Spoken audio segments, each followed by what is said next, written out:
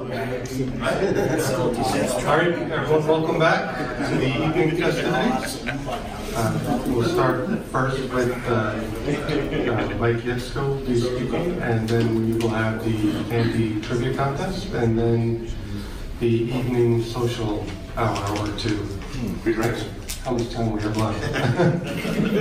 That's what's taking up the time, so there's no free drinks.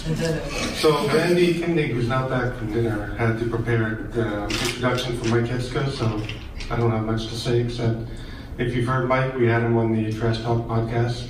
You know, he has a lot of interesting stories. He worked at Tandy Radio Shack in many different capacities. Uh, so he knows all of the ins and outs of what happened, the good times, the bad times, successes and failures of Tandy in those magical years um, that we all study and we're enamored with. So without further ado, Mike Yetsko. All right, Don't scare me with that, okay? Uh, What I thought I, since this is a Tandy forum, I'm not going to give a lot of information about my other jobs, but I wanted to give a little brief biography so you know where I'm coming from. Um, I will say a few things uh, before I start. One is, is that I'm not going to name names, especially in a negative context. All right, I could name a lot of them, trust me. Uh, and one of them actually wouldn't be John Roach. Actually, he and I get along very well. That's because he didn't know me. Uh, I will warn you now, I am OCD.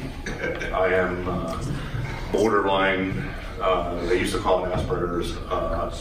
I'm one of these people that if I make a left turn, I have to make a right turn, which is very bad when you ski when there's trees on both sides.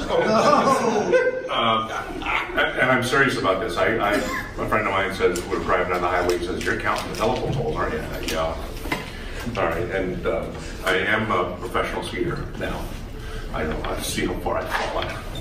All right, I went to high school and started with computers back in the 60s. My high school had a link with my coming college, and they had an IBM, I think it was an 1160 or 1180, and we used to program the thing on the cards. Well, actually, we had to program on the sheets, and we got poor students for a grade to type our sheets in for the cards. Run the program and get them back. Uh, when I went to Lehigh University, I was I will tell you right now, I'm a nerd beyond belief. I was electrical engineering and engineering physics. Um, but I didn't finish. Uh, other things became too important, and there were some personal issues.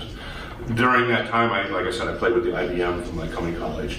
At Lehigh, we had this Control Data Corporation, CDC 6800. Now, for those of you who know Seymour Cray, that machine does not exist. What had happened was Lehigh got a CDC 6400 which Seymour Cray personally upgraded to a CDC 6600, one of three ever upgraded, and then he upgraded that to a 6800 Cyber system, which does not exist. Uh, there was another variant uh, that I think was the CDC 7000. At the time, it was the most powerful computer in private hands anywhere in the world, and faster than snot. Uh, I don't know how fast snot is anymore. But, uh, the other thing is, engineering at Lehigh was very electrical oriented, uh, even though it was the school where Lee Iacocca went for electrical engineering.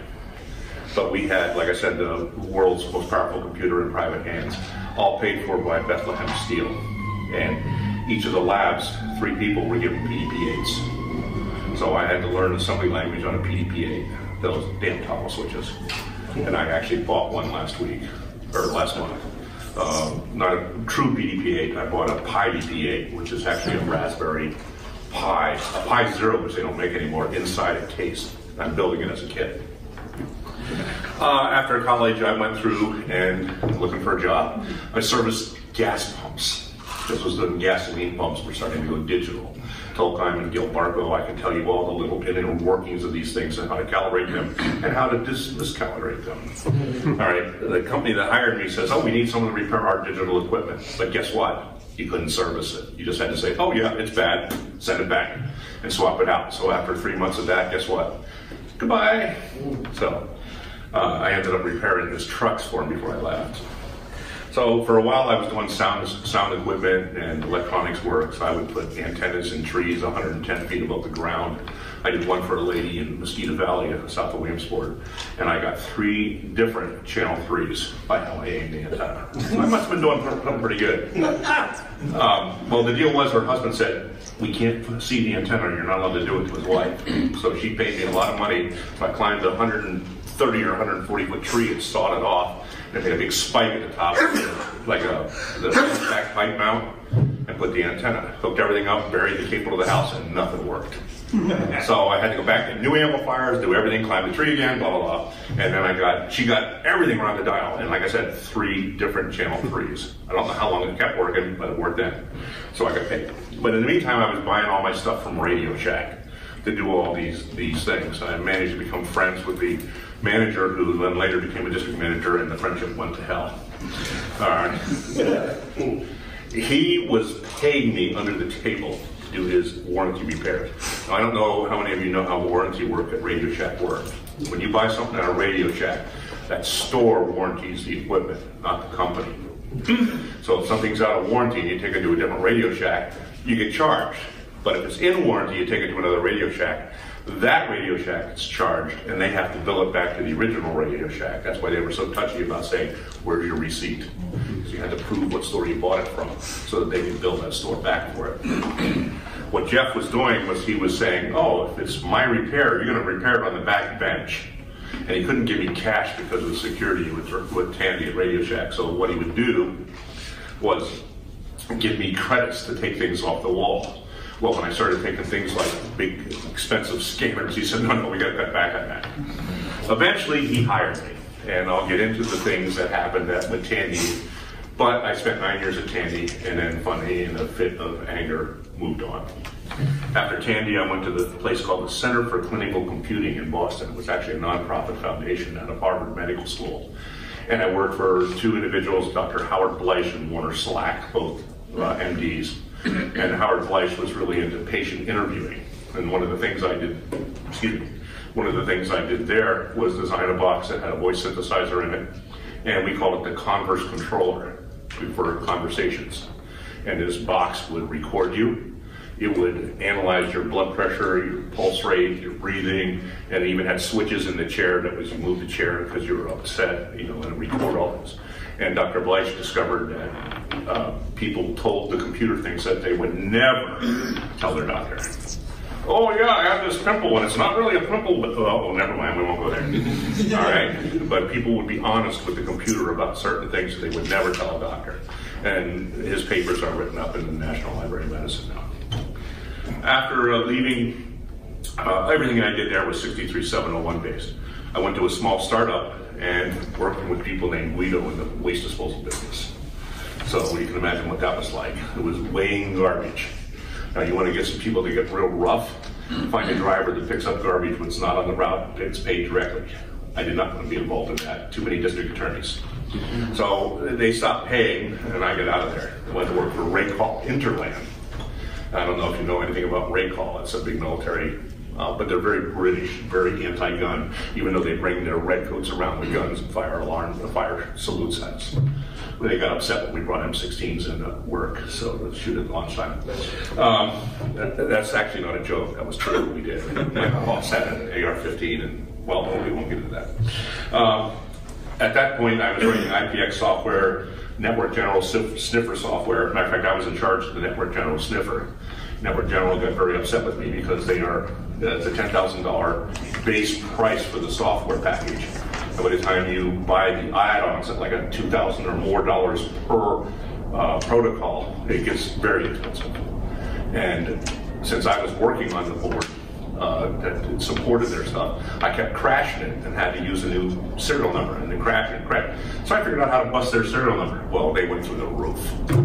so they ended up turning around and saying, look, we'll give you 100 serial numbers, and when you run out of them, we'll give you 100 more. Just don't ever let your code that breaks our serial number scheme get out of your office. Okay, fine. Uh, at that time, I was also working with Novell through Racal. And I have the distinction of writing, at the time and for many years afterward, of writing the only 100% certified IPX driver with no caveats. And it worked differently than everybody else's drivers, didn't drop packets, and if you put two boards in at the same time, it got faster. And the st- gold standard for how to write an IPX driver with Novell is called the final word by a guy named Jason Lamb. And he called me up and he was very upset, and I had to fly out to Provo. Um, they had to write a new appendix for the book that handles my driver. So if you know anything about Novell, you are always passing things through packets between foreground and background tasks. Well, my boards were, I was working with network boards that had 186 processors on them. So I said, well, I'm not going to waste time putting something forward. So I used everything in the background and passed stuff directly through, which they said you couldn't do. Well, the problem was if you take the very last background routing buffer, the whole system crashes and burns. And I figured out how to detect that and prevent it. So he had to write a whole chapter in his book over background routing and, and resources management. So after Racal, uh, got laid off there. Um, that's another story. I went to work for a startup company called SystemSoft. Now, some of you may have heard of that, and Insyde was the follow-on to SystemSoft. At one point, SystemSoft, I was told, was 97% of the world laptop market for PCs. We did BIOS, we did drivers, we did all kinds of things. I got hired originally because of a keyboard reset problem. Yeah, it happens every 18 hours or so. Yeah, you try to find that problem. I spent, I spent three weeks going home at night, kicking the door, doing all kinds of things. And finally, I made it worse.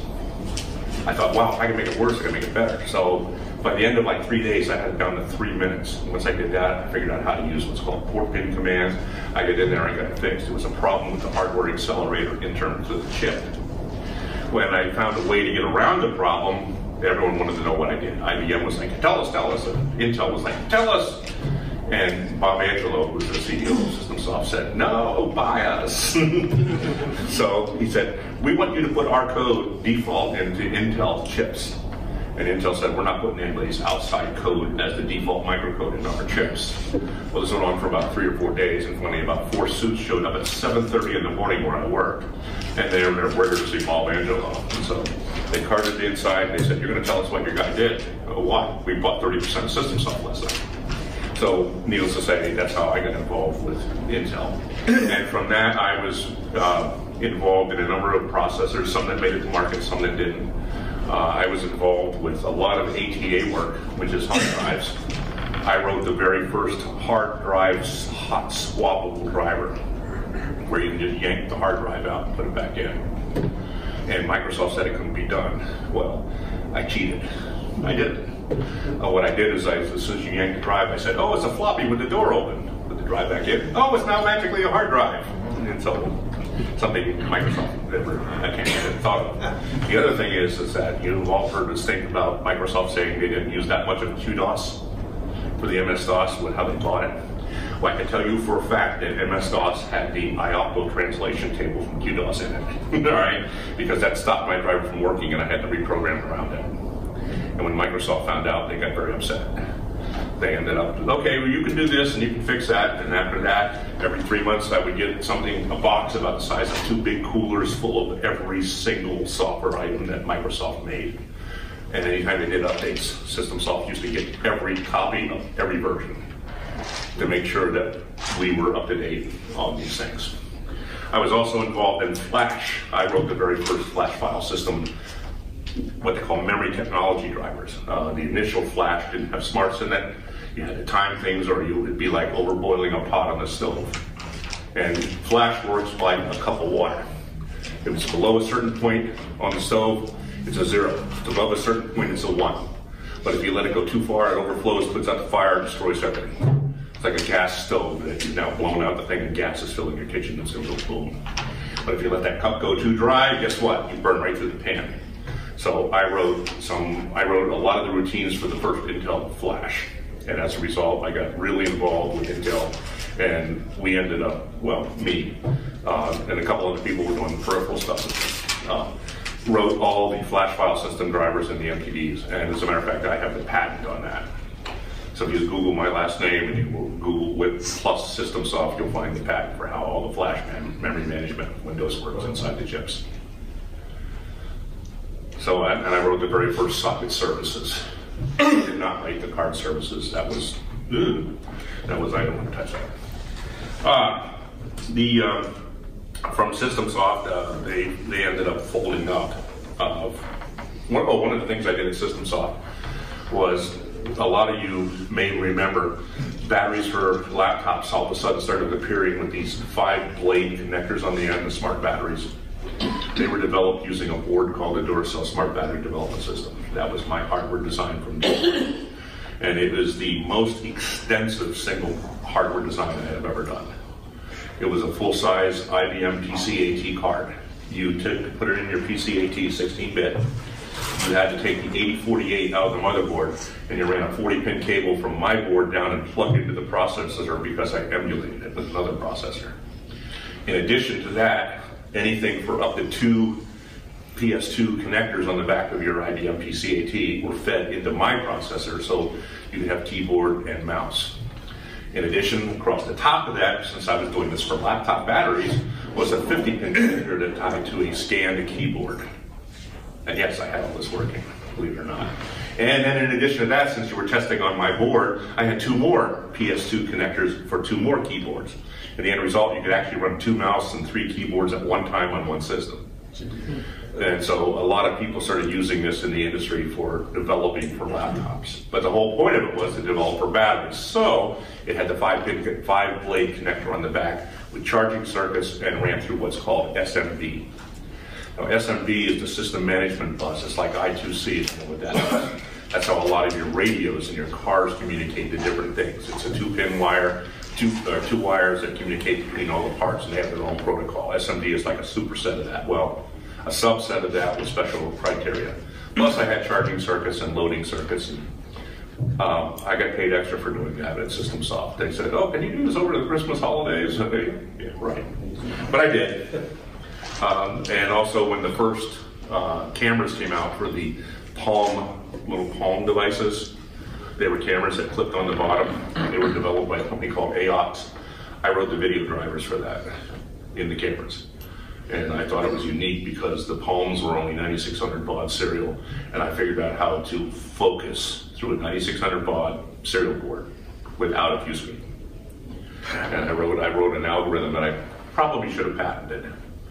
I used what's called the JPEG compression ratios, and I looked for the J, JPEG granularity index, and I just said, okay, focus until it's the best, and it worked. Then they didn't pay us, and they went out of business. They sold the cameras anyway. All right, after that, um, I, I got into racing, drag racing. And that, when I got into racing, that was, the, this was about 2003, was the first time I really wrote anything other than in assembler. I'm one of these guys that digs pencil posts with a spoon. Takes a long time, but you have absolute control over the dirt. Um, I wrote a program that used FAA algorithms that calculate engine runout for airplanes at high altitude. They calculate how drag racing cars perform. And I wrote a software package that would predict what you do. And a lot of people don't understand drag racing is it's not about going fast. You have two people. One guy can do a 10 second, one guy can do 11 second. So when these guys come up in bracket racing, which is where the average guy makes money, the 11 second guy reads first because he's slower. The idea is you both get to the finish line at the exact same time. And there's a lot of games these people play. Well, I'm going to run a 10-5, and then the last second they say, no, I'm going to run an 11. And the reason they do that is because if you leave first, you have to be perfect. If you mess up, you've messed up first. And the other guy can just sit there and smile and roll through the starting gate. I won. So I wrote software that predicted down to a hundredth of a second as to what your car would perform based on temperature, altitude, humidity, and other weather factors, and even took in the two lanes. And the software had to learn the lanes. And for about two years, I could go to almost any drag strip and not have to pay for my beer. And I sold that software for $600 a copy. I had people calling me, one guy called me at like 2 o'clock in the morning screaming at me because his son won a national title. So that was exciting. Uh, since then, I've never drag raced. I have a high performance vehicle. I've had a couple high performance vehicles. I still have one, uh, which I, you know who Paul Schreiber was. He's the guy who designed a lot of the graphics for Tandy. I scared the crap out of him on my bike. So, yeah, he still tells stories about how he uh, was scared on that thing. I've been a ski instructor now for over 20 years. And uh, I, people say, what's your email address? Oh, it's dad underscore skis. Well, that's a real professional email address. Well, it actually is because I'm a professional ski instructor now. As a matter of fact, I'm going for my next level certification next month. So, that's so much of my history. But since this is the Tandy Forum, you guys want to know all about the Tandy. All right, I told you before that I was going to things in the back of the stores. Well, finally the store manager says, oh, hire you. So I had to go take polygraphs. That was the days when uh, Tandy insisted on these uh, uh, lie detector tests. So I go take the test, and they say, "No, you're too technical." All right. So okay. So, but I was still doing my stuff for Jeff, you know, repairing in the back room, making some money on that. Jeff got a little upset when I, like I said, when I started taking scanners and selling them. So, because that's how I that's the only way I could get cash. You know? Oh yeah, I'll take this hundred and forty dollar scanner and sell it to a friend for hundred dollars. Uh, the security attendant would have had uh, would have had balloons coming out their butt. Uh, but finally, the Tandy turned around and said, "Okay, we're going to hire you." And I quickly rose to the top as one of the top salesmen. Um, had one really interesting uh, situation occur. Uh, in my early days, I didn't know all the policies, and one customer called up like two days after a big sale, and so he, he was irate on the phone, and I just wanted to not deal with him. So I put the covered my hand over the microphone and put the microphone hand on the counter. And I yelled to the back of the store, "Hey Jim, we got an irate customer on the phone. What's the problem?" And I told him, he said, "Well, tell him to come in. We'll give him a credit for the difference." Oh, okay. So I picked up the phone, totally forgetting that if you lay a phone on a big glass countertop, all right, it's like a microphone. I didn't. I, you could have amplified it into the phone when I said I have an irate customer. Uh-oh. I said, "Hello." Before you start, let me tell you one thing. I am not irate before, but I am now. he came in and tried to punish me, but I turned it into a sale. He got out of there spending $250 more than he was coming in for a $60 credit. So, and it turned out over the next year, he was my best customer. Oh, I, I call him up on the phone. Oh, you got this new cassette deck with three heads. Oh, shit. Oh, excuse me. Uh, he come in and I said, no, come on, you're going to buy this, going to buy this. And he'd buy it. And he cursed the whole time. But he kept, it was my best commission. Um, the, after uh, Christmas, I was promoted to a store manager, and they gave me a store in a little town called Mill Hall, PA. Now, I had days where I had three customers I had days that I had more refunds than customers paid. All right, and but I always managed for the month to beat every store in my district except that one store I started at, which was the top store in the district. I did it by uh, holding off farmers hostage, that kind of thing. Uh, the TRS 80 came out the summer of 1977. August 3rd. I remember that date because about two months before, at that time, Tandy was starting to sell individual I.O. chips and 8080 processors on what's called a blue wall. And I was starting to build a computer. I was going to build at Southwest Technical Clone. And then they sent a letter around and said, oh, we're coming out with a computer. So I stopped. And when the August 3rd came around, I was hooked. I was. I immediately got one order with a fake name, went $100 because that's how you had to do it in those days and it took till November till it came in. Well, we ended up getting in the EI, uh, and things went forward from there. But for, for those of you that, with a Model 1, you know that without a disk drive, that EI can be deadly, especially with the memory glitches. And I, can, I know what causes, people don't really seem to understand what causes the memory problems in, in Model 1. We'll get into that. But I was in an area where there was tons of electrical interference problems, and we were running a program called RAIN. That program was written on a PDP-11 at the University of Pennsylvania. They said you can't run on anything smaller than a PDP-11. Well, I ended up converting it onto a TRS-80. Of course, it took 12 minutes to load every time the play. The program glitched off cassette. So I said, well, I got to do something about this. So, and RAIN was a program that calculated the amount of rainwater runoff based on the saturation of the soil and certain stream levels and, and so on. It was used for the, the, the SEDA-COG people, uh, the Council of Governments paying for the development so that we can predict flooding in that area. And uh, when I converted it, um, these resets were killing us. So I figured I got to do something about that. And I couldn't figure out how to stop the resets because it really wasn't the computer's fault. It was the glitching in the power out here in the country. Uh, Mill Hall is right next to where Piper Aircraft is. There are more bear in that county than people. Schools have off the first day of deer season because 14 year olds hunt. Kids bring their guns to school to work on them. That's how far out in the country we are. Um, so I, I, figured I had to do something at Sierra City, so I thought, I'll make it battery powered. So I figured, well, how am I going to do this? Well, first off, I had to break the seal, which was a verboten for store managers to do. So I figured, well, I got to figure out a little bit better than just going in and mucking around. So I managed to call Steve Leininger, who would design the thing. He says, oh, yeah, but I had to get permission from John Roach. He's the vice president over American Manufacturing. Okay, so I called John Roach. He says, you can't do it or you're fired. I said, well, I'm going to do it anyway, so you might as well fire me right now, but let me have the schematics in the meantime. so he talked to Steve Leininger, and he called me back, and he said, I'll tell you what, I'll give you the schematics if you promise me that no one else sees them, and you take a poly when you send them back after two weeks. I said, fine. He sent me the schematics. I made a battery pack up that was a, uh, a tiered battery pack using different types of batteries at different levels, and the TRC would run over an hour on batteries, and it would work through any of the glitches. And I wrote up a report, sent the schematic back, sent the letters to Leininger and the Roach. Didn't hear anything. And Roach called, and I called Roach one day and I said, look, do you want me to get the polygon? And he says, did you show it to anybody? And I said, no. Did you copy it? No. He goes, no, we're okay. So that sort of got me noticed by engineering. Uh, but I was done with, with retail. I had a regional manager that came in, just goes up to my desk, I swept everything on the floor, put his feet on my desk and said, yes, go, you're finished in retail. He says, I won't fire you, but you're done here. So I said, okay. So I turned in my store, back to retail sales, and eventually quit. After I quit, I got a call from the former district manager that now became the regional manager for repair. He says, I need help. And I go, where? He goes, up in, up in New York in Long Island. I said, oh my God, Long Island. And he goes, no, look, can you go up there, help me out, repair computers? We're stuck.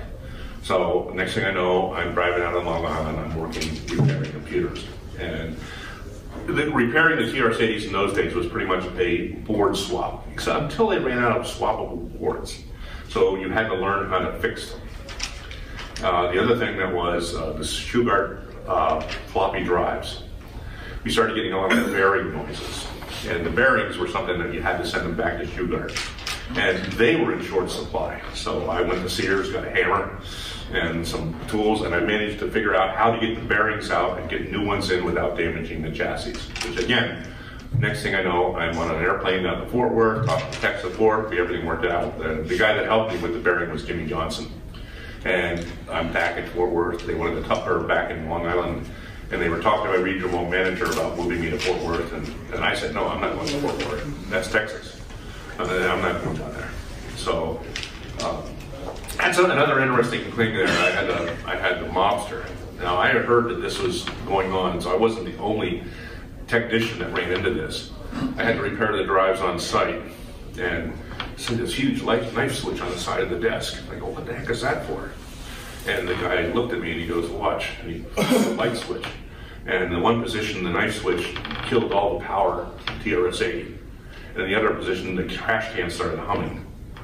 And he then he opened the drive, diskette drive doors, and he pulled the diskettes out. And he says, "I dropped them into the trash can." And it was electromagnets at the bottom of the trash can. So, and this, this guy was a pretty tough guy. You didn't want to mess with this guy. Next thing I know, he's writing letters to John Roach about me about bunny rabbits and how good I am. So I got called in about this bunny rabbit, which is so. Anyway, um, I, have been told that that trick was used by a, a number of the less than um, upper level people, shall we say. the numbers racket used to do a lot of things, and they wanted quick destruction of your data. Okay, anyway, I got pulled out of there and sent down to the regional repair center in Bath, PA. And from there, um, I got to do over from Newport News up through uh, New Jersey, not into New York though, although I did have to cover New York, um, which was another story I'll tell you in a second. Uh, the, uh, the, big things I had to deal with were like the cassette problems. You all know about the XRX3 by now, right? The little extra circuit board that's on the Model 1. What was happening is when they wrote the first version of the BASIC with level 2, uh, when you read a bit You have the clock bit and the data bit. When you read a bit, the software would immediately start looking for the next bit. Well, why in the world are you looking for something when it's supposed to be the dead time? You get any noise on the cassette tape, guess what? It reads wrong data. That's why you don't read the data. You get a corrupted cassette. So the XRX3 board was a board that actually time sliced out the cassette input port. If you look at an XRX3 board, you see it's mostly a counter circuit. And basically all it does is turn off the cassette port for a short period of time after it reads a valid data. Now, the problem with that is you speed up the Model 1 CP, excuse me, CPU board with one of the speed up kits, you can't because it's hard coded for the XRX3. They did fix the uh, cassette problem in the later level 2 basics, the ones that say L2 instead of level 2. Uh, those you don't want to use the XRX3, you're better off with the firmware. they will coexist, but they cannot speed them up because of the XRX3. The other problem with cassettes was the cassette decks at the time. If you stop them in the middle of data, they glitched the tape. And it was a problem with the actual cassette deck. well, no big deal if you only had single-sided cassettes. But if you had a double-sided cassette, guess what? You now put a glitch in the tape, right through the tape, from the pulse going back through the chassis. So that, that was a simple fix to fix as well during that time, uh, like I said, I was brought to the attention of, of tech support or of Fort Worth. So the next thing I know, I'm flying down to Fort Worth and they show me all the new stuff. I got to see the Model 2, I got to see a Project Green Thumb, which, which didn't really make it well. It was a private little project that eventually became part of what's called the communications multiplexer. But it was a TRS-80 Model 1 case with a 6809 with a color display and it was more of a terminal than anything else. And it was run for the University of Kentucky for agricultural use. It had a modem in it and everything else. Uh, uh, during that time, uh, like I said, I got to see the Model 2. Uh, this was about six or eight months before it was announced. It was still pretty much breadboard, although they did have some plastics design. And I got to meet the designers, which Sam Sawyer and Mike Berger. And I became real good friends with Sam Sawyer. Matter of fact, Sam was the one that got me hired eventually at Racal because he was there. And Sam and I used to go hunting all the time. And he's crazy in the woods with a gun, trust me. Um, Mike Berger's crazy on a motorcycle. Just don't ever get me. That's another story. Maybe I'll tell that later too. Um, anyway, because I was involved in the Model 2, I got one uh, about two months early. And it was really a neat idea because when they sent it to me, they said you can't let anyone see it. So where I was at, all of a sudden I got an office built for me with a locking door so no one else could get in there. And there was this one 18 year old girl. No, I won't go into that. um, I was the only guy that had the moves on her. All right. Everyone else was all over her, and I was like, no, no, Carol, no, no.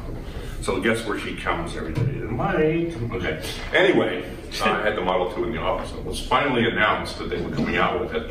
You get the store managers coming into the regional. Office. Oh man, you hear about this new Model 2? Oh yeah, you want to see one? that was kind of an ego trip. Uh, it ran TRSDOS 1.0, and being 1.0, you can imagine how bad it was. All right. Uh, but it did work, and it was a nice machine. I didn't have any extra drive base, so during that time, uh, the computer, uh, one of the computer stores, sold a computer to a guy named Howie Wolowitz. Now, yes, that name may sound familiar if you watched The Big Bang Theory, which I'll tell you about in a minute. He burned it up.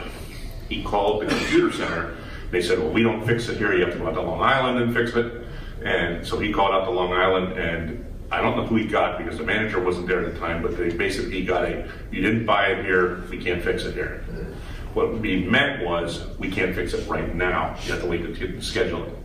So he gets on the phone to Fort Worth. Next thing you know, Sam Sawyer's wife, who worked in customer service, called me and goes, look, can you go to New York and help us out? And he, she called the regional manager. And I was basically told, can you go to Long Island to Bethpage? And you were to walk in and tell them you're there to meet this customer. And if the manager says one word, you're to ask for the keys and lock the door. So I went in there, met Howie Wolowitz, fixed his computer. He was happy. He went home. The next day I get a phone call. My computer burned up again. So this time on my nickel, I drive to New York City, downtown, and I go in and I fix this computer. And it turned out, uh, for those of you who don't know the Model 2, early Model 2s had an issue that the Motorola monitor wasn't synced. It depended everything on the video card. And if you put the wrong frequencies out, you would burn up the monitor. When the monitor burned up, it would short out this $13 transistor and feed the power back into the, FD, the video card and burn that up as well. All right? And so we went through about four repairs on this machine and we couldn't get it fixed. So finally I said, look, I'll give you mine and I'll take yours. So I gave him my prototype computer after making sure it was up to standards and took his. Worked fine for me. And my computer in his office worked fine. Now Howie was the kind of guy that would, he would program for 30 hours at a time, then sleep for 24 hours. We won't tell you what other things he was doing during that 30 hours, but let's just say he stayed focused. Um, and he developed what eventually became Profile 2, which was at the time the largest and most well-distributed database manager in the world because it was sold under Profile, it was sold under FilePro, FilePro, was sold under the name Alexa FileClerk, it was available on mainframes, on Apple, everything. And his small computer company became worth millions. His first employee was Bill Prady, who was also an ex-IBM programmer who worked on ZAE systems. Well, Bill Prady was a nice guy, stayed with Howie for a while, they were very good friends, said, I'm tired of this, he quit, went to work for Jim Henson at the Muppets, stayed there for a while, said, I'm going out to California, got out there, said, oh, I have an idea for a TV show, Dharma and Greg, with Chuck Lorre. Then after that, he goes, oh, I got another idea for a TV show. It's going to be about nerds. so he called up Howie and said, Howie, I'm going to use your name in this TV show. And that's where Howie Wolowitz came from. And the real Howie Wolowitz has been on the on the Big Bang Theory as one of the background characters, not a speaking role. But uh, anyway, I did find a problem with that. It was the connector on the motherboard. We were joking that it was the case because we couldn't find anything wrong. I ended up taking it home and putting it in my shower just to steam it all up. And I found a, a problem with the motherboard connector. That had been D4 which caused the video board when it was initialized. Remember I said the, the video had to be synchronized? Well, with data bit D4 bad, programmed to sync wrong, burned up the monitor, then burned up the card. So that was one of my, wow, I found that. Of course, that only took me about three months. All right, after uh, I was doing all that with the tech support, uh, when the Model 2 was finally delivered, they said, we want you to go to Florida and set them up before they were actually released. So I flew down, I flew to Texas, got everything arranged, flew back to Pennsylvania, and then said, okay, I'm ready. I flew down to, uh, to Miami, and there were supposed to be 10 machines. Uh, they were delivered directly to the local Radio Shacks, not to the computer centers. So they all came through smashed. The first Model 2s had no reinforcements on the top of the disk drive or on the top of the power supply and monitor. And with the bottom of the case like this, it was a big U, which was a tuning fork, and smacked everything. So I was in a panic to get these things done. So uh, over four days, I was scooting around in Florida. Uh, I drive down to Key West for the very last one, which is supposed to be a 32K model for the Key West police. I get there and it's not there. I'm trying to call Fort Worth. Where's the machine? Where's the machine?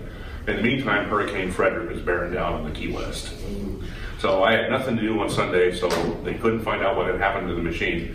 So I went out and scheduled a scuba or a snorkel scuba trip. So I missed that, so I said, okay, we'll do it Sunday. So on Sunday I go out. They take us to Sam Key, which is the farthest key, about 100, maybe 50 miles out past Key West. And it's just like the, the Gilligan, you know, the weather started getting rough, the tiny ship was tossed, people were puking all over the boat and the water, and they ended up giving us our money back. Uh, so then Monday morning, it's a really bad storm, and I find out that the 32K machine was never shipped because it was 32K. So, okay, into Miami. So I'm driving out in this really wicked storm. I'm coming up through the Keys.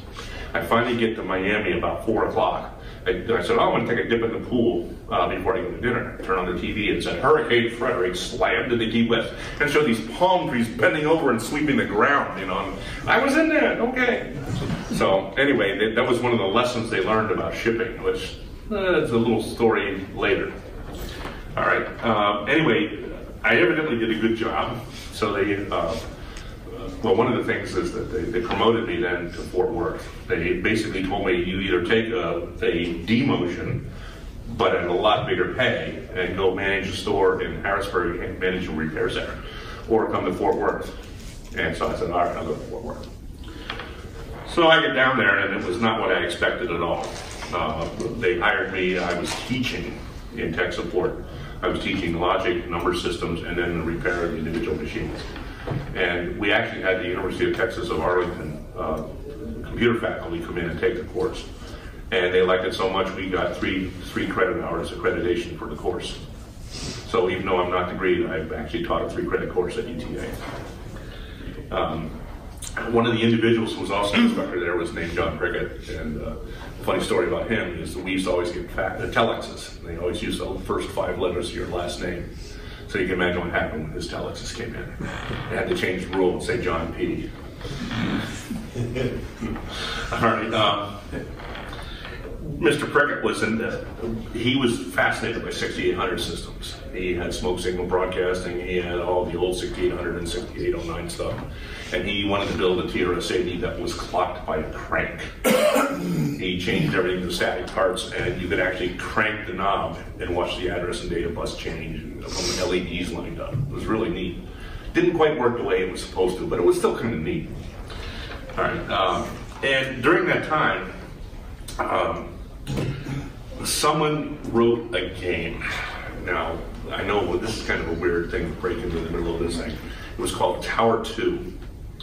And adventure games were real popular back then. Someone wrote a game called Tower 2 and it ran on a TRS-80 Model 2. And the, uh, the basic scenario of the game was you go to the tower, you park in the lot, you take the subway into Tandy Tower, you go ice skating, you go back to your car and someone stole your distributor rotor coil, rotor, and left a note that says, ha ha, find it. And you have to follow clues just like a regular adventure game. Only the clues were a trek through the towers of all the unreleased hardware. So it had the satellite systems, it had the color computer, it had the Model 100, it had some of the new audio stuff, it had everything from every department. You couldn't say it was R&D, you couldn't say it was system design, you couldn't say it was the audio group. It went ballistic with security, trying to find out who wrote that game. And eventually there, I realized there were five different versions of the game, so I think people were adding to it every time they got it, just to piss off security. So it was a neat game. Uh, during that time, there was uh, one of the things that people have heard about was the fake ads, and I brought one of them. This ad actually ran in a news in a magazine. Managers now blame your incompetence on a TRS-80 and that's the sole recipe of the advertising department. This guy's in merchandising, I forget his name. Um, Playboy is, of course, in the game on the display. And it says, it comes with CYK80 software, the choice of professional professionals. and the ticket, and you have to read it, and I'll leave it up here for you to read. I, I used to have an 11 by 17 glossy of this. It says, okay, John Roach, I'm tired of getting blamed for my mistakes. Send me a TRS-80 catalog right today. And we actually got these coupons back. A lot of them. What it was is a magazine called the Yellow Jaundice. And the Yellow Jaundice was like the trade journal of the newspapers in the Dallas-Fort Worth area that had Sunday supplemental magazines. And every April they would run a parody of their ads from their magazines. And the one year they ran a parody of the Radio Shack Pocket Computer One. They said the Pee Wee computer that goes everywhere, even where you pee. it, had, a picture, it had a hand drawing of three guys and, and, urinals, and one of them was holding up a pocket computer, one working on while he was standing there. Well, Tandy did not like the ad. it was not that they didn't like the ad, they didn't like the fact that it was done very amateurishly. And the magazine apologized and they said, they said, well, we're sorry, we won't do anything again. Because it was a really immature and very poor quality attempt. So the following year, they called Tandy up to apologize again for the previous year and said, Tandy goes, oh, that's okay, we'll give you an ad. And this is the ad that they gave them. They ran it as a full page ad. Like I said, they got the coupons back. And you have to read the ad. And the software is uh, Hookers from Space, uh, TRSDOS. Oh, your, your, computer, your computer comes with the TRSDOS disk oblivion system. So it's an uh, interesting ad. Um, another thing that was kind of uh, a little funny thing that happened was that there was a, about that time there was a book by a guy named Tom Ryan, and he was a systems level programmer at IBM in New York. And he wrote this book called The Adolescence of P1. And today, if you ever think about viruses and malware and everything, this is what started it all. Not that this book started it, but it was basically about a drunk college kid who wanted to get more time on the computer, so he wrote a little routine to hack in and set up what's called the privilege level one on the IBM system. And he wrote an algorithm that actually works to hack an IBM system, set the privilege level bit. Well, the book went through tech support and some of the technical groups at Tandy like wildfire.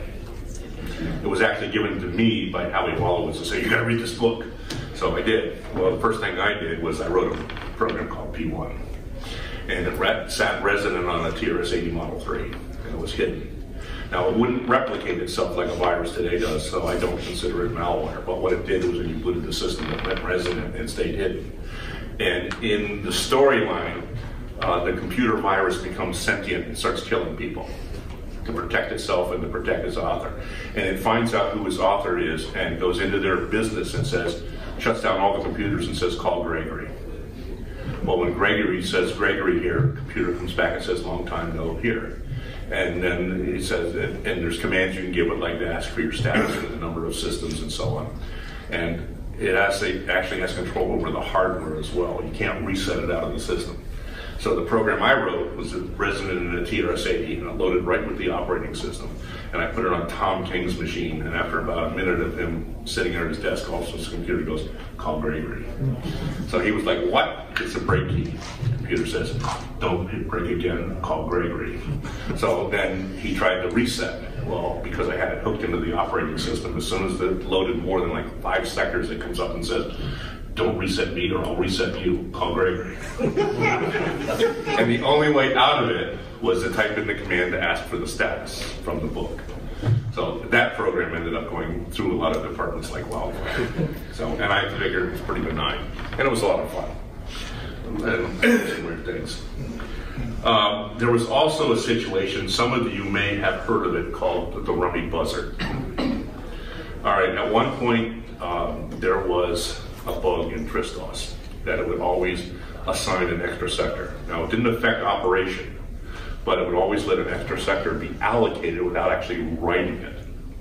So if you wrote 10 sectors to the disk, the file allocation would say, oh, you have 11 sectors. It would never write the 11th sector. So whatever was in that as core trash was now in the file.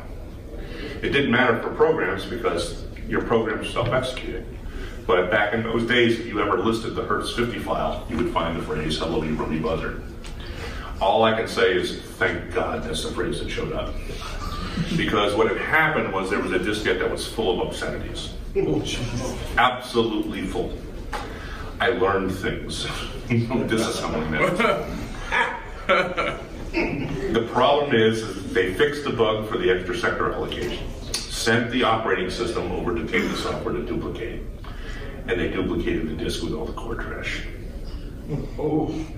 Well, Wayne Green went on a field day about it in the 80 microcomputing. Story doesn't end there. All right, I'm sitting at my desk and this guy named Cam comes into my office and goes, "What about the rummy buzzard?" I go, "What?" He goes, "The rummy buzzard." And I go, "That's old news." He goes, "We got this guy that sent this letter," and I read the letter and it says, and it's a polite letter, but it's a little bit of a nasty tone to it. It ends with, you can call me a son of a bitch to my face, but I'd really like to know why my computer is cursing at me. Now, for those of you who don't know, different countries has different phrases and languages that's obscene or objectionable. If you're British, rummy buzzard is not a very good thing to say. All right. So I call the guy. He's in San Francisco. He answers the phone with a British accent. So I ran off the bat. He sent a screen print, a Model 3 could screen print. And he sent a print, screen print because his computer went into double-sized characters and said, hello, you rummy buzzard. so that's, that's where this whole thing got started.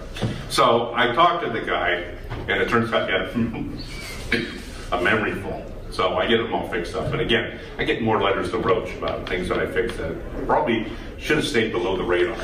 But it turned out that that, that was uh, that, was interesting, to say the least. Um, during that time, I ended up being with Tandy for five years, and this is another one of my contentions, is that I took vacation over my five-year pin at the company meeting for all the support operations. And I was not shall we say, appreciated by my boss. Well, I was, I was appreciated. I would always be given the tough projects because I could always deliver. But there was always uh, a nastiness between us, uh, and it goes back to a personal issue. So I'm on my vacation, and I get a phone call. You got to come back and you got to give this presentation at the meeting. Go, what do you mean I got to give a presentation? Well, you got to do this presentation on the one printer. All right, so I fly back from Pennsylvania. I get there, and guess what? I don't do the presentation.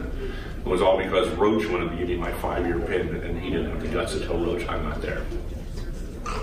But I made out. The Tandy gave me first-class tickets around and another week of vacation later, so I, it ended up being okay.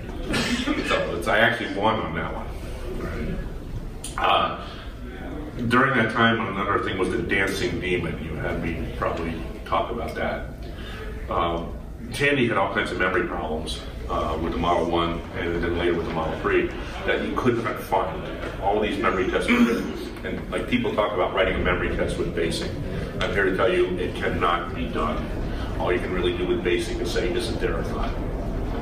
To do a memory test, there's a lot of things you have to do. You have to not only test the individual memory cells, but you have to test that there's no interaction. Not only with the chips themselves, within the chips, with address lines, but also with power and also with the adjacent address buses it's been data buses. It's a very complex thing. and That's why the memory test takes so long to run, even in machine code. One thing that the most memory tests cannot do is test the fact that the Z80 is unique. The Z80 does not need refreshing of the RAM because it does the refreshing. It generates an extra M state because it uses the register, the R register, which is part of the IR, the interrupt register. It's called IR. It's where they get it. Uh, and the R register is basically a register that runs and just does what's called the row address select refresh of RAM, of that memory RAM. And that's how they generate random, pseudo-random numbers, is they seed it with that value. That's why a Z80 processor can get pseudo-random numbers where everybody else has a lot of problems. Well, they do this refresh during the opcode fetch cycle and you can't not test that with a software program by reading and writing and doing things. The only thing you can test it is during the opcode fetch, which means you have to write a program that runs during the memory cycle. The dancing demon does that. So people were saying, my dancing demon fails, but the memory test shows fine. Tom King ended up writing a program that tested all the possibilities of how you run through that reduced. Uh, the Z80 does three three mem three M states, uh, which is the opcode fetch data data, and then there's T states within the M states, and where the CPU puts an extra T state in and stretches it for the refresh, that means that the next fetch of the opcode is reduced timing. So he wrote a program that tests it, that shifts by one byte, test it again, it shifts by one byte, and test it again. And you can't test every single memory location in the machine except if you test the machine and it passes, then you pull the middle 16K out, put a new middle 16K in, and then test it because it'll start below it and work through it and then test that. It's the only way to test memory 100%. And then you have to take the memory that you tested and move it to the top and bottom so you're sure that you have that. Okay, so any of these people that you see all the time saying, oh, I wrote a basic test to test my memory.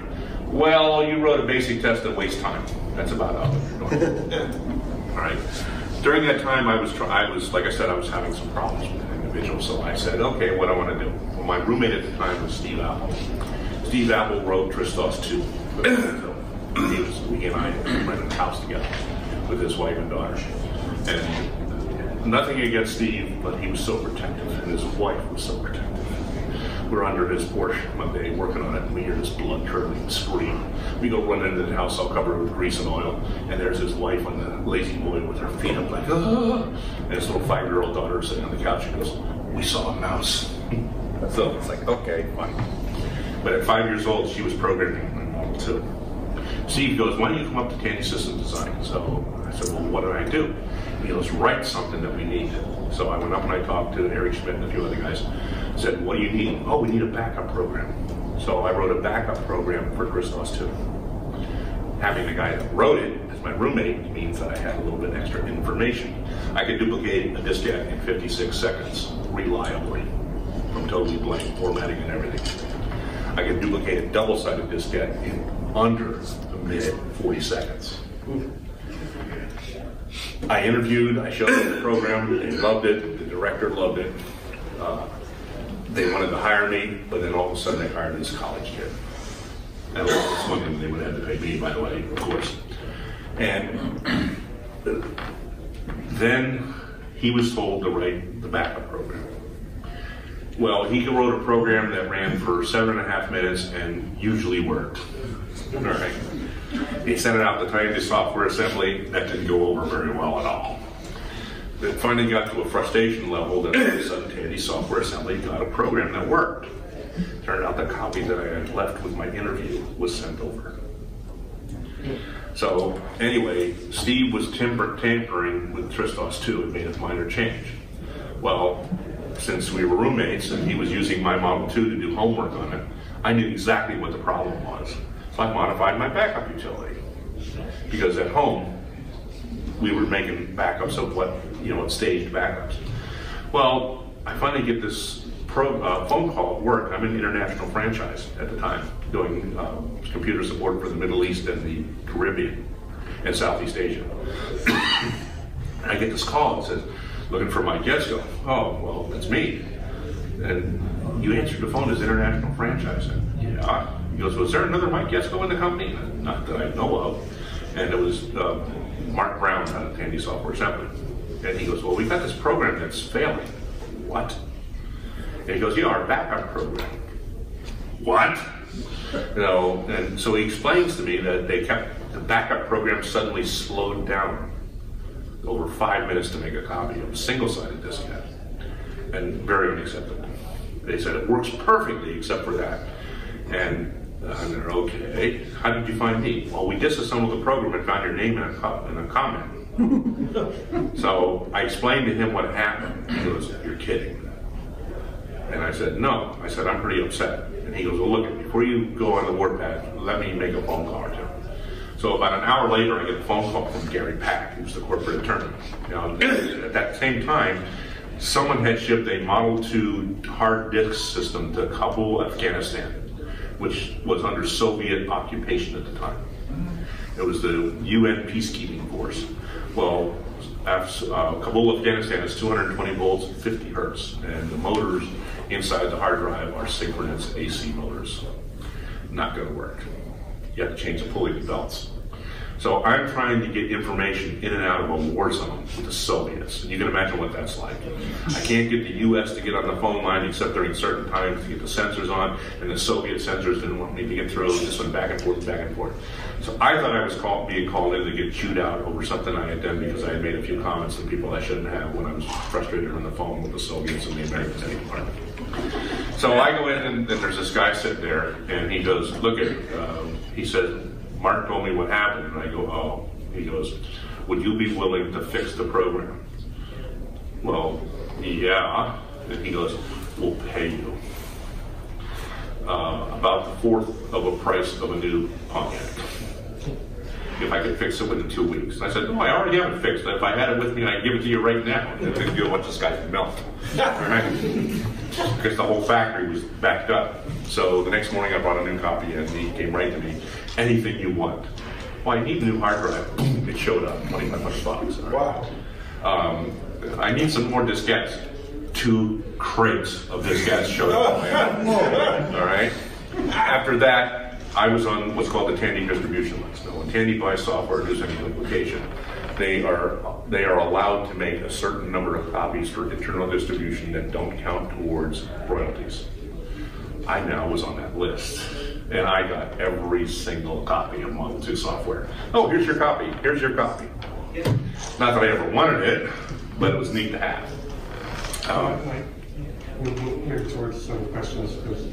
Oh, okay. I'll, I'll finish up real quick. Well, anyway, uh, I made friends. Uh, he started giving me merchandise instead of money, so it's, uh, everything worked out. Um, at that point, then I moved back to tech support and I managed the diagnostics group. And one of the things that a lot of people don't realize is that the Model 100 diagnostics were all written in assembly on a Model 2 using ALDS, we created uh, aliases for all the instructions and linked over with the Model 2. That's how we could do it quickly for the uh, Model 100. And finally, I was hired to go up into R&D. And actually, there's not as many hardware stories for R&D because that's where Paul Schreiber's going to put in his book of mostly true tales. And he has called me up repeatedly during this morning's talk. Uh, my phone rang in the back. That was Paulo cursing at me. You better not blow, blow things for me. So, one final thing is I got a phone call from Mark Brown. And he says, I want you to go over to Tandy System Design to your friend's desk before lunch today. And don't go to lunch. Sit there.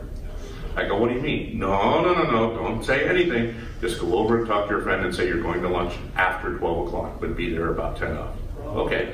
So I go over and I'm sitting there in Steve's desk, in front of Steve's desk, and we're talking. And in walks security, and they go into that director's office that stole my software.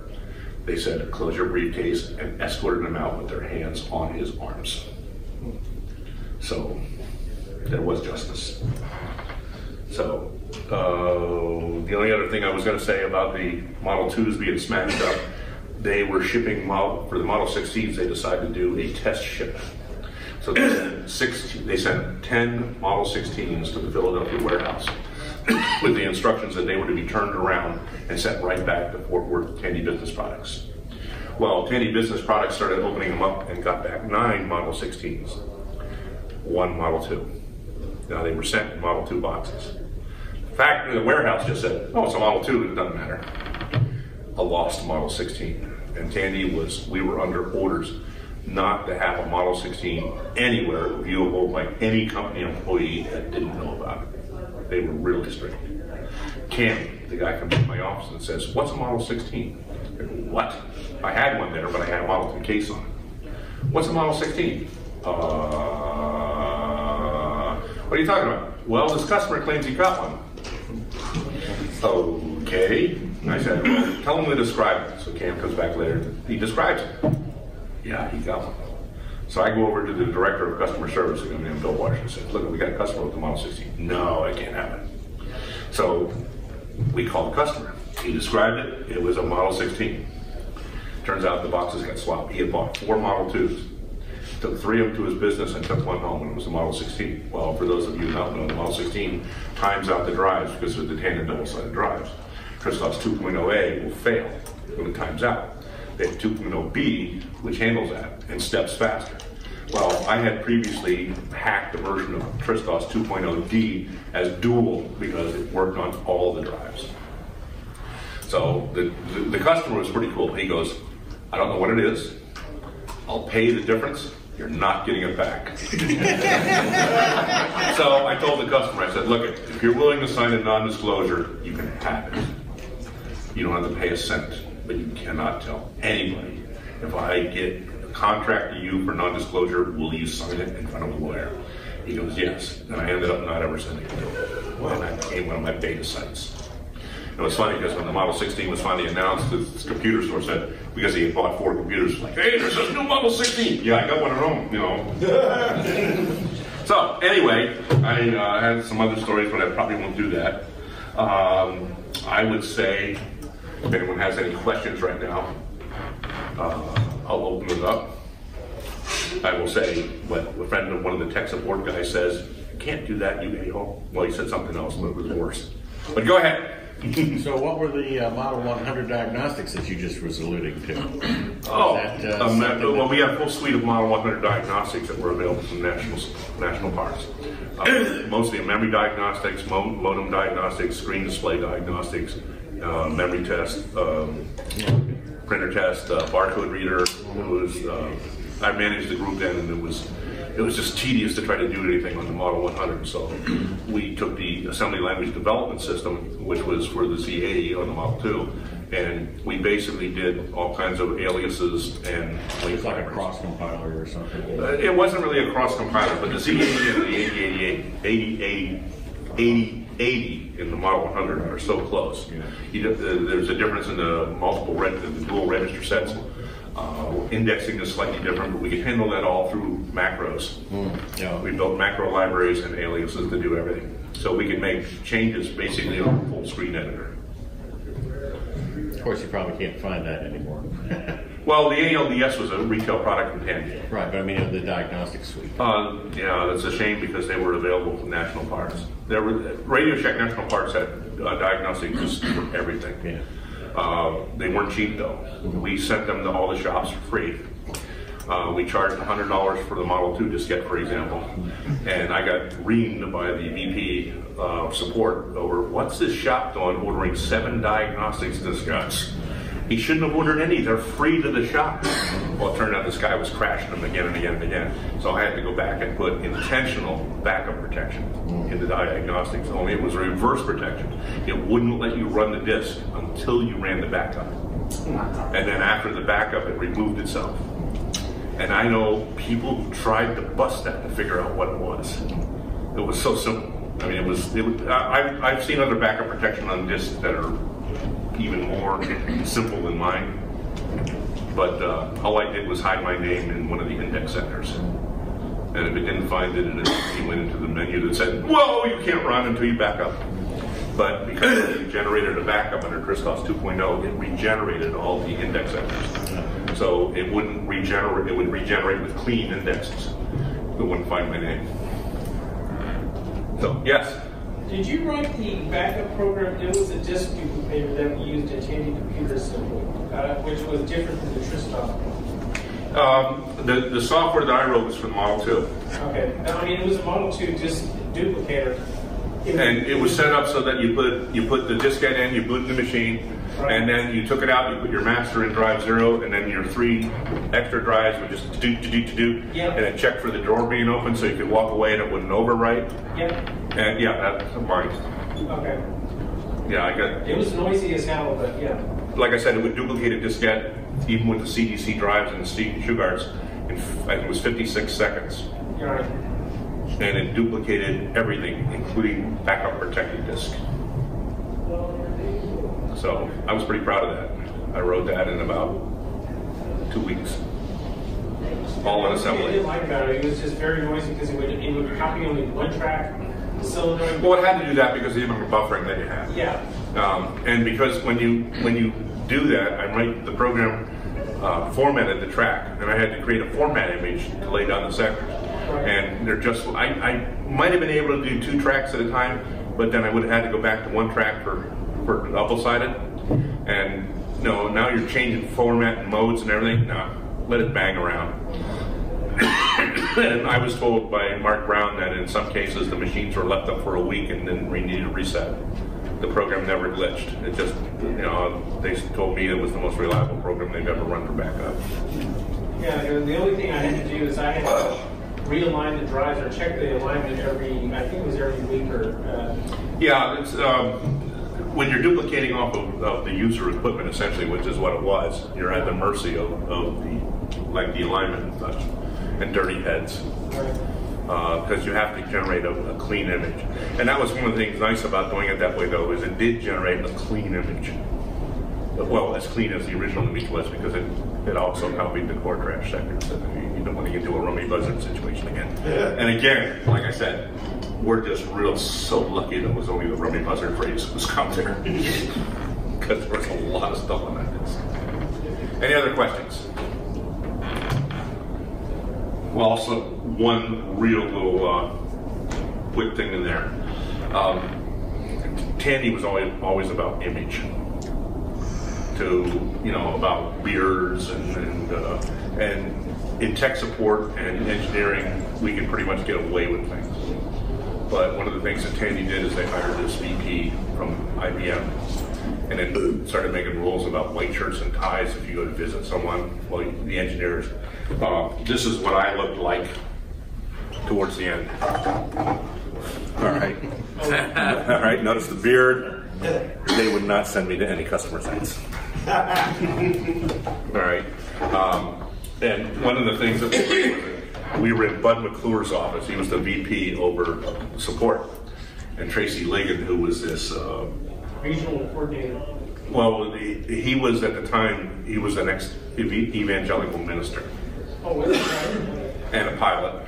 And he went halves on a plane that John Prickett eventually crashed. He survived though. Um, and we're sitting in uh, Bud McClure's office, and the secretary got this call for Tracy, and she put it into Bud's office and put it on the speakerphone in Bud. So Tracy was telling the guy, "Oh, do this, do this," and he did something stupid, and Tracy just stood up and yelled at the phone, "You can't do that, you!" and I just saw Bud McClure's face just melt onto his desk. Turned out it was a friend of Tracy's, so it's. Uh, so there was a few other things that are off color too. I won't say. So, any other questions? I think I covered most everything I wanted to talk about. Oh, we can talk about. Oh, I'll give one good thing. There was two things that happened on the what would now be called the internet. There was a news and notes files. I don't know if any of you know what that is. Uh, prior to the internet, everything was UCP, Unix and Unix Communications Protocol. And with the Xenix systems, they were like bulletin boards that sprang up. And my office mate was Steve Fintel. He designed the 2000. And we were out motorcycle riding one day. He bought this uh, Honda 500 Silverwing. And so we were out so, riding motorcycles one day, and then went back to his place, swimming in the hot tub, my wife and his wife. And I drove home. And then he wrote a thing and posted it to the rec.motorcycles. And about how it was a nice day because it was hot and then cooling off in the pool and the hot tub and everything. Then we had a beer in the hot tub. And some guy came in there about, oh, you shouldn't ever drink anything and drive. Well, first off, in Texas at the time, you could legally drink and drive. The Texas liquor stores along the highway had pull-up windows and sold roadies for 25 cents, which was a couple of bites. but Texas was one of the first states went 0.08, and they were draconian about it. But you go to softball games, there'd be a keg in the dugout. But, uh, but you could drink, but you could not be intoxicated. Well, anyway, Steve wrote this thing, and this guy reamed him a new butt for even being on a motorcycle after drinking a beer. So Steve went home and wrote this really nasty article called Damn Mad. And stood for Drunks Against Mothers Against Drunk Driving. Hmm. Very good taste. And he posted it. And the article wasn't near as bad as what the title was much worse than the title suggests. All right, I mean, it was really inflammatory. It broke our VAX all the email that responded. So Steve got called into the to the uh, director's uh, office and got reamed and everything. And you guys gotta be careful, blah blah blah blah. Okay. Well, then about a week or so later, some guy posted this thing in Rec.auto about radar jamming by putting bunch foil behind a radiator. Obviously, doesn't know anything about it. Well, I'm a ham radio operator, I've done things. So I wrote this article called The Hitchhiker's Guide to Radar Jamming. And I posted it. And it not only, first off, it told how radar works, how Doppler works, how the frequency compresses, and so on. And then I wrote how it could be fooled by some things as simple as a spark plug inside a funnel, if you know what you're doing and do it a certain way. And then at the very end of the article, I wrote about the Kustom Signals KR11 handgun, which is real popular because it had a jamming detect feature. And I knew how that worked. And I posted it. We got, I think, someone said 3,000 emails the next morning. Broke the VAX again. All but three of them were requests for more information. All right? Now, I had signed that as Mikey at TRSVAX because our TRSVAX protocol was your first name and last initial. And the guy that really blasted me was a guy named Bill Par- Bob Parness at AT&T Labs in New Jersey, and he he and I got into a fight for about a week. And at the end of that, though, we, we buried the hatchet, and we're actually pretty good buddies after that. But years later, when I went to Racal Interlan, someone goes, "Oh, you were from Tandy. Do you know a guy named Mikey at TRSVAX?" they had it archived. So, anything else? I can get off this damn stage. Well, thank you, Mike. And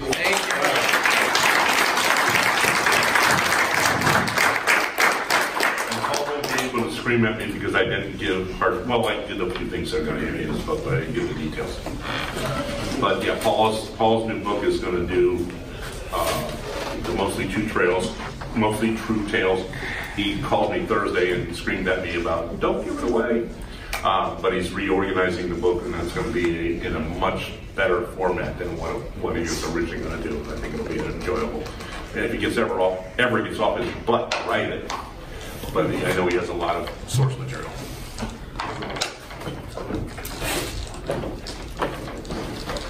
All right, folks, we'll take about a 10-minute break, and then we're going to have the Tandy trivia contest right in this room. And actually, Mike is one of the panelists, so come back and join us.